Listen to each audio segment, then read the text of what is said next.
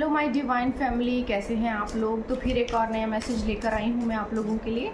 Divine guidance लेकर आई हूँ। Divine, आपको क्या कहना चाहते हैं? देखेंगे आज की इस क्विक एंड शॉर्ट रीडिंग में। ठीक है? तो स्टार्ट करते हैं।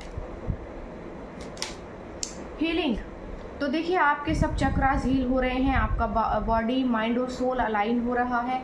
आपके जीवन में संपूर्णता आ रही है और चीज़ों को लेकर आपको देखने का एक नज़रिया आपका बदल रहा है, क्योंकि आपके जीवन में आप बहुत सारा सौहार्द, प्यार और प्रेम भाव आ रहा है।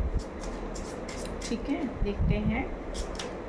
सक्सेस मेजर सक्सेस आपके जीवन में आ रही है। बड़ी खुशी की बात है कि आपके जीवन में इतनी सक्सेस आ रही है और आपकी मेहनत का फल अब आपको मिलने वाला है।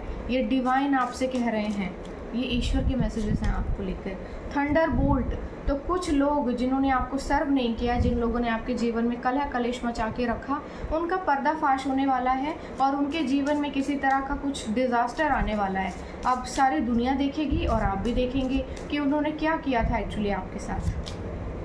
इनर वॉइस आपको कहा जा रहा है कि अपनी आत्मा की आवाज़ को सुनिए और अपने जीवन में जो चीज़ें डिवाइन आपको गाइड कर रहे हैं जिस राह पर चलने के लिए, वो उस राह पर चलिए और नई नई चीज़ें देखिए। जो भी चीज़ें आपके जीवन में होंगी ना, वो सब बहुत बेहतरीन होंगी और जो कुछ भी होगा, वो बहुत ही बेहतर होगा। और आपकी इंट्यूशन इस वक्त जो भी बोलेंगी, वो सब आपको सर्व करती होंगी चीज़ें, ठीक है? तो यहाँ पर आया है पॉसिबिलिटीज़ आपके जीवन में संभावनाएँ आ रही हैं, नई नई नई नई उपलब्धियाँ आ रही हैं, नई नई जगहों से, नई नई लोकेशन से आपके लिए बहुत ज़्यादा पॉसिबिलिटीज़ आ रही हैं, ठीक है? और नेक्स्ट मैसेज आया है करेज बस आपको थोड़ी सी हिम्मत दिखाने की ज़रूरत है। आपके जीवन में नई नई उपलब्धियाँ आ रही हैं नई नई संभावनाएँ आ रही हैं। देखिए, डरिएगा नहीं। अगर बड़ी बड़ी उपलब्धियाँ आपके जीवन में आएँ तो। अगर ऐसी चीज़ें आपके जीवन में आती हैं तो आगे बढ़िए। बाहें खोलिए और वेलकम कीजिए चीज़ों को और एक्सेप्ट कीजिए, क्योंकि अब आपके जीवन में ईश्वर पत्थर में से भी फूल खिलाएँगे। और बहुत बेहतरीन चीज़ें आपके जीवन में होंगी। जो आपने नहीं सोचा था, वो सब भी आपको मिलेगा।